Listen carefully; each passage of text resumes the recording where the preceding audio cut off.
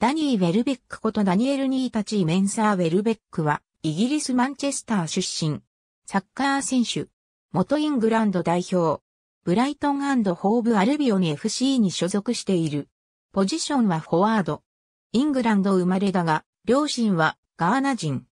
マンチェスターユナイテッド FC のアカデミー育ちで、2008年9月23日、カーリングカップのミドルスブラ FC 戦でデビューした。プレミアリーグでは2008から09シーズンの11月15日、ストークシティ FC 戦でデビュー。その試合で強烈なミドルシュートを決め、自身のデビュー戦を飾った。2010年1月25日、マンチェスターユナイテッドのアレックス・ファーガソン監督の息子のダレン・ファーガソンが監督を務めているプレストンノースエンド FC にレンタル移籍した。2010から11シーズンはさらに経験値を積ませるべくサンダーランド AFC へローン移籍。26試合6得点を挙げる。2011から12シーズンにチームに復帰すると、ファーストチームでウェイン・ルーニーのパートナーとして出場機会を増やし、ファーストチョイスをハビエル・エルナンデスと争う形となっていた。2014年9月1日、ラダメル・ファルカを獲得に押し出されるような形で、アーセナル FC への移籍が決定した。背番号は23番。10月1日の UEFA チャンピオンズリーグ第2節のガラタサライ戦で、プロ入り初のハットトリックを達成。2015年3月9日、FA カップ6回戦のマンチェスターユナイテッド戦で、先発し、古巣から決勝ゴールを挙げた。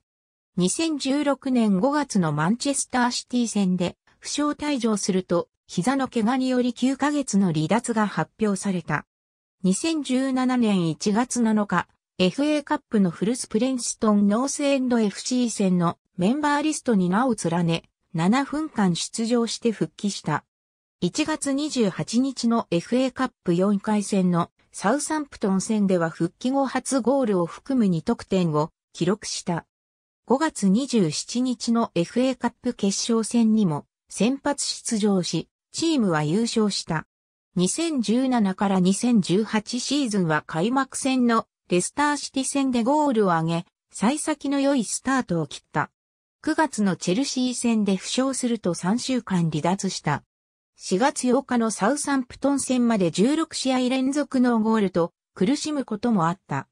2017から2018シーズンは11月に右足を骨折したことも影響し、出場機会が計14試合に止まった。2019年5月5日にはシーズン終了後の対談が明らかになった。2019年8月7日、フリー移籍でワトフォード FC に加入することが発表された。